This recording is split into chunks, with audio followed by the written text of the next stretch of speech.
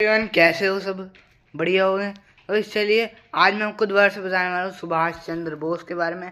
मैंने जो पुरानी वीडियो बनाई थी गई उस पर काफ़ी ज़्यादा व्यूज़ आए थे। गई इसलिए मेरे को लगा और एक्सप्लेन करना ज़रूरी है।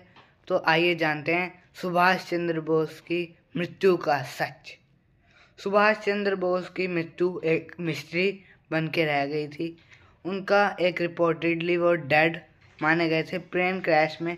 यही गई इस इवेंट का मेन जो सच है, वो माना गया है। लेकिन मैं आपको इस वीडियो में और भी पॉसिबिलिटीज़ और और भी थ्योरीज के बारे में बताने वाला हूँ।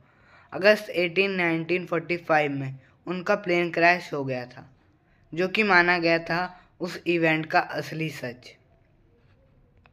Some theories propose that Subhash Chandra Bose may have survived that plane, and he may lived in different places, and many other places so वो कहीं और भी जगह, काफ़ी सारी जगह पे रह चुके हैं। मतलब वो मरे नहीं थे। तो आपको क्या लगता है? आप कमेंट में बताइए कि वो मरे थे या फिर नहीं मरे थे।